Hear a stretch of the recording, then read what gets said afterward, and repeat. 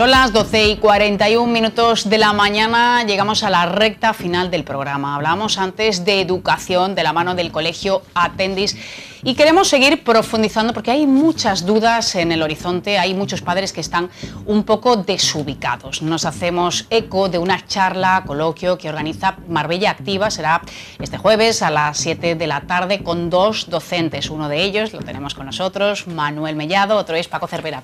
Manuel, ¿qué tal? Bienvenido. Muchas gracias, bienvenida. ¿Cómo estamos? Pues muy bien, aquí aguantando el tirón de la pandemia.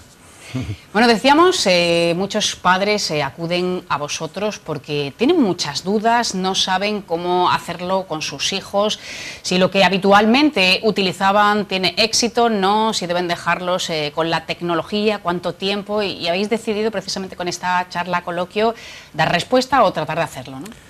Pues sí, la verdad que sí. Javier Lima y Paco Cervera eh, de Marbella Activa, pues son los que están recibiendo, tienen un programa aquí en la Hora Educación, muy en contacto con los padres y estamos recibiendo una cierta unas demandas de orientaciones sobre qué se debe hacer, qué no se debe hacer, o también porque actualmente eh, en el mundo educativo ahí está en un proceso de cambio muy fuerte y genera muchas dudas y mucha incertidumbre a los padres. ¿Cuáles son las principales inquietudes? Para que nos hagamos una idea. las inquietudes son todas. Prácticamente tenemos eh, en, todos los, en todos los ámbitos. Eh, puede ser mm, escuela pública, escuela privada, puede ser eh, repeticiones, deberes, si repetir es bueno, repetir no es bueno, deberes, metodología tradicional, metodología moderna, eh, métodos de lectura, métodos de enseñanza del cálculo, formas si la educación emocional en el aula se debe impartir, si qué papel tienen las tecnologías, eso es muy importante, si son fundamentales, no son fundamentales, en fin un montón. Los padres se han convertido en profesores durante todo este periodo, ahora con la enseñanza también online semipresencial, con este sistema híbrido y supongo que eso es un esfuerzo añadido. Los padres, sí, sobre todo los más pequeños, han tenido que hacer un, gran esfuerzo, ¿no? Y bueno, y los profesores principalmente, porque eh, yo he estado al frente del centro de profesores durante muchos años y hemos hecho muchísimos cursos para formar al profesorado en las nuevas tecnologías, en las nuevas, o las TAC que se llaman ahora, ¿no? Y no habíamos conseguido grandes avances, porque se, tú sabes que cuando se hace el curso, como no lo lleve a la práctica de forma inmediata, pues eso se, como en los idiomas, se va perdiendo. ¿no? Entonces ahora ha habido un avance brutal de la formación del profesorado, los cursos han estado llenísimos de, gente y creemos que ha sido un, y va a ser un aprendizaje muy consolidado, porque ha sido aprender para aplicar, aprender para aplicar. Y eso mismo mm, a muchos padres que estaban ajenos a las tecnologías también le ha, le ha tenido, se han tenido que poner las pilas para ayudar a, sobre a los pequeños, para manejar las plataformas eh, de videoconferencia donde han estado recibiendo las clases, las plataformas de la Junta del PASEN para recibir la información y las tareas y, cómo mandarle las tareas que los niños hacían, si no los pequeños eran demasiado pequeños, cómo mandarlas, en fin, que ha habido un gran avance ahí, ¿no? Y, pero también ahí se han quedado ciertas dudas, sabemos que ahí que, se, se están quedando muchas lagunas y falta por ver un estudio serio que diga cómo ha sido, si ha habido, eh, sabemos que ha habido ese progreso importante, impactante en las nuevas tecnologías, pero en los aprendizajes no sabemos cómo eso ha repercutido. Hay que ver si ha producido un atraso o no ha habido un atraso. Y los padres, pues claro, eh, los padres más conscientes se han puesto las pilas en metodologías porque y se han interesado mucho por, nuevas metodologías para poder ayudar a los chavales eh, correctamente. Pero quitando las nuevas tecnologías que nos ha traído la pandemia, ¿en qué cambia la educación del sistema tradicional? Eh, el cambio es el cambio, yo cuando doy algunas charlas que doy digo que vivimos, no estamos en una época de cambios. ¿Que no? No, estamos en un cambio de época. Es decir, que no es que se están produciendo cambios, sino que es un cambio radical. Entonces, ahora mismo vivimos en, una, en el mundo educativo en una grandísima incertidumbre. ahora la formación, lo que antes era mm, válido eh, en educación, como por ejemplo era aprenderse una lección de memoria y volverla, o mm. aprender los cálculos mecánicamente porque tú eras contable y tenías que hacer cálculos mecánicamente, eso ya no sirve, porque mecánicamente lo hace el ordenador, no tienes que hacerlo tú. Entonces, lo que ahora prima, lo que ahora necesita y las demandas que exige la sociedad son personas que sepan trabajar en equipo, que sean creativas, que tengan, que comprendan las cosas y tengan una comprensión. Porque ahora no es lo mismo, eh, mi niño sabe multiplicar maravillosamente y eso se traduzca en que mi niño pone los números arriba y los números abajo y, no sabe lo que está haciendo. Y, sabe la y no comprende la multiplicación. Y cuando tiene que aplicarla eh, para resolver un problema de la vida real, aquello es como un aprendizaje isla que ahora, ese aprendizaje en un momento servía, ahora ya no sirve. Ahora el que sirve es que tú tienes que comprender, aunque tengas que saber hacer la multiplicación, pero estamos en un grado más. Es lo que se llama tenemos que desarrollar competencias en los chavales. No hay una escala que dice en la enseñanza se empieza dando información. Esa información el alumno la tiene que transformar en conocimiento. Pero claro, los procedimientos los tiene que conocer. Claro. Conocer para emplearlos bien. Claro, la información tiene que tenerla, pero hay que transformarla en conocimiento. Pero no solo en conocimiento, ese conocimiento, que es un conocimiento experto, y hay cantidad de ingenieros, y luego cuando llegan al terreno se ven negros para hacer el puente, ese conocimiento se tiene que transformar en sabiduría. Es, la escala, ¿no? La sabiduría es la manera de mover los conocimientos y la información que tiene para resolver problemas. Eso es un poco lo que venimos, lo que intenta las nuevas metodologías y las nuevas técnicas conseguir de los chavales. Y armonizar, ¿no? Armonizar. Enseñanza memorística queda a un lado, evidentemente, pues eh, hay que memorizar eh, determinados elementos, esto eh, está clarísimo, pero es cierto que ya el hecho de tener al alumno sentado, rígido, sin moverse y como absorbiendo todo, como si estuviera viendo la tele, pues esto, ya... repitiéndolo no. Esto ya no funciona. No, pero eso es, es un mito. ¿Hay que dejar la memoria? no.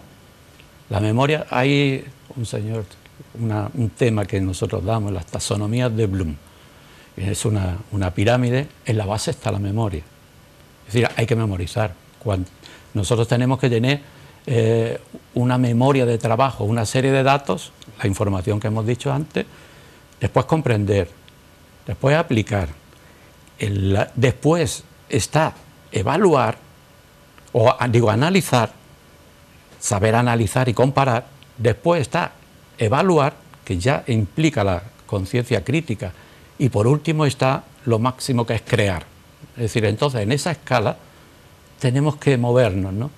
No podemos, antes se quedaba en eh, memorizar y comprender, sí. y se hacía muy bien, y, y bueno, se quedaba. Había profesores que llegaban a crear infinidad de ellos, pero el método, la metodología eh, muy masivamente con, cumplir esos dos parecía sí, que... De por sí sola... Aunque quiere decir que, que, la escuela, los que estamos aquí estamos formados y hemos llegado a crear gracias no, y nos acordamos de muchas cosas que gracias a, ese método todavía la tenemos en la cabeza. No es, no es demonizar, es que una, una, unas metodologías servían para una época que tenía una exigencia y la época que viene, pues... Sí, hay que ir más allá. Otro elemento también, la educación física, era la asignatura María, una hora a la semana y ahora está demostrado pues, eh, que el ejercicio físico ayuda también pues, eh, a mantener el cerebro en mejor estado.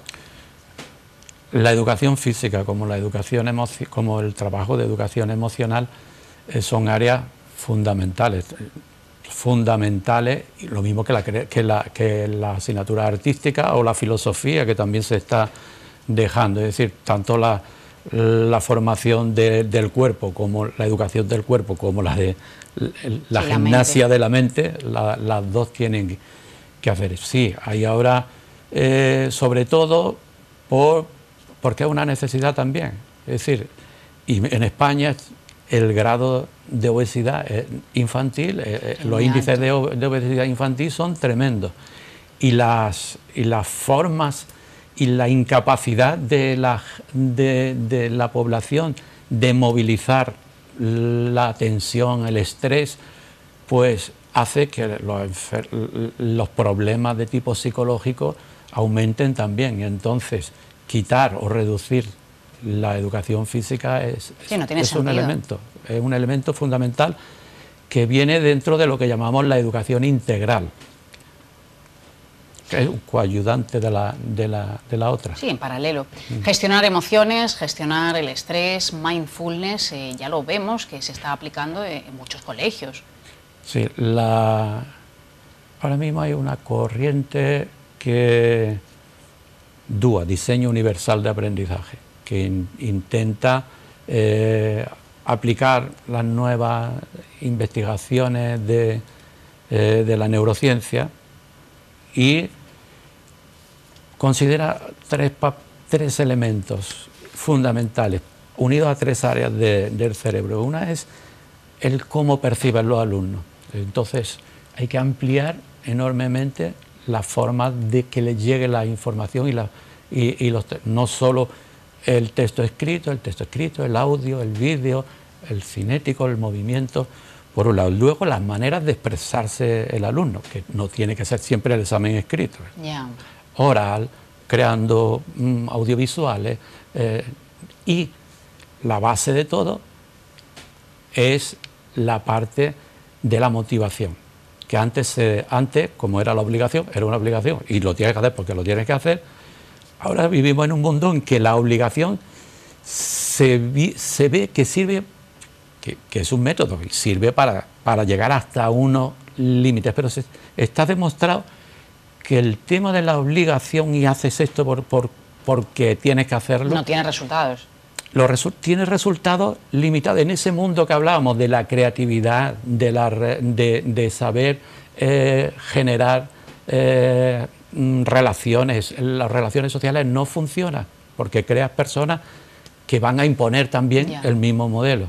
Entonces, el, no, el motivar, tanto por parte del profesor, es un arte y eh, se le da mucha importancia y está dentro de las competencias emocionales del profesorado. Pero al mismo tiempo, el automotivar, enseñar al alumno a automotivarse, y no solo automotivarse, sino a persistir en la motivación, porque claro, motivarlo eh, en la lección, eh, para explicando la lección está muy bien, pero cuando ya ellos crean, parece que ya cree que lo han entendido, hacer que sigan y profundicen hasta que de verdad la, dominen, pues eso es la persistencia, la capacidad de resiliencia, de aguantar la frustración, de mm, por eso es temas como no demonizar el, fracaso, que antes, es decir, cada vez verán veremos menos eh, aquella M mayúscula con bolígrafo rojo que te ponía el maestro, no, es esto no lo has hecho bien, vamos a pensar en que te has equivocado. No te pongo la M y eso no lo repasamos más, que ya no, ni siquiera... Sí, te castigo simplemente. Y de castigo.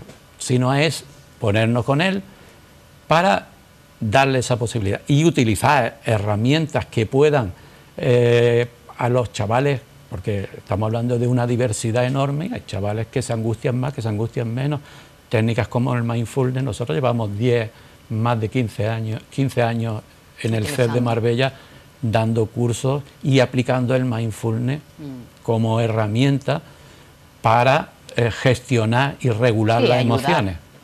Recientemente veíamos en los medios de comunicación eh, pues una fotografía que subía una alumna, eh, porque su profesor eh, le escribía notas animando no solamente a las personas que sacaban buena nota, ¿no? sino a cualquiera y en todos los exámenes pues le, escribía, le dedicaba unas cuantas frases motivadoras. Esto ha llamado mucho la atención porque evidentemente no es la norma, ¿no? pero ayuda y, mucho.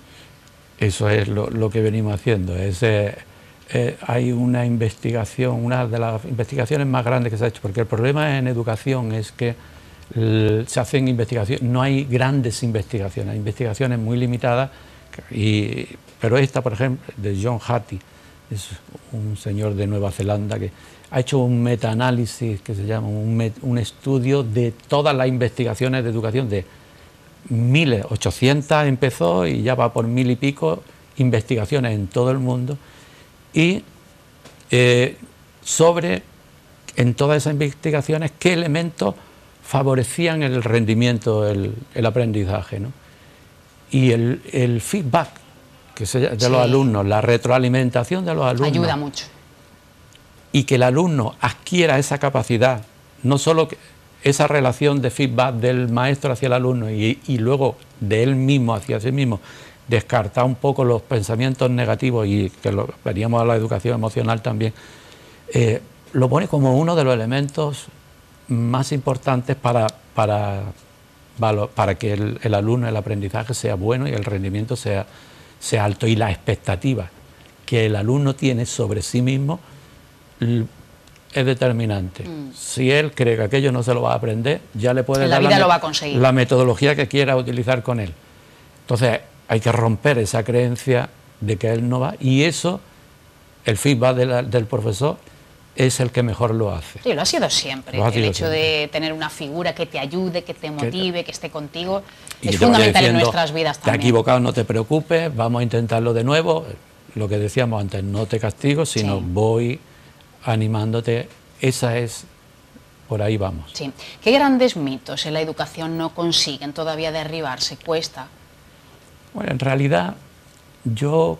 Eh, pusimos ese título y después quizás yo luego he visto que, es decir, eh, en realidad lo que voy a decirle a los padres es que todo en educación se habla en forma mitificada.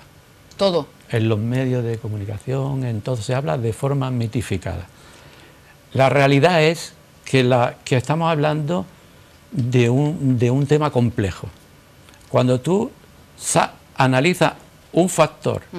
aislado del resto, está mitificando. entonces, claro, todo lo que digamos es que eh, el método de, mm, de, trabajo por proyecto ese es el mejor. Eh, puede no se puede ser tan categórico. Eso, es decir, que no hace falta, no hay evidencia científica suficiente en la mayoría de las cosas. Por ejemplo, hay algunas, por ejemplo, que en, nosotros, por ejemplo, hemos estado muchos años trabajando la enseñanza de la lectura a través de métodos globales. Mm. Frente al alfabético, que era antes el de la A, primero se aprendían las letras, se aprenden las palabras y vamos bajando las letras, porque creíamos que, generaba una. era más lento, pero generaba un, luego una, una aceleración de la comprensión lectora. Y pues ahora la neurociencia, los estudios últimos vienen diciendo que no, que hay el, no es, el alfabético, pero el método fonético, es decir, desarrollar en el niño la conciencia fonológica, es decir, lo que hacen los ingleses un poquito, que no se dice la S, no es la S, sino la S. Sí, ya... Asociar el sonido con el grafema y partir de ahí... Sí, sí, y además es un camino que, hace que se acelere y, va mucho más rápido. Manuel, muchas cosas eh, que debatir, así que para todos aquellos que estén interesados, hemos dicho el jueves a las siete y media. Y lo pueden hacer a través de marbellaactiva.gmail.com. Ahí piden eh, la contraseña esta que se envía a Zoom y ya pueden Le dan el enlace y lo pueden hacer. Perfecto. Gracias. Bueno, gracias a vosotros por invitarnos. Muchas gracias. Pues así le ponemos el punto y final a la primera edición de hoy. Volvemos mañana, ya sabéis, a las 10 en punto. Que paséis una feliz tarde. Adiós.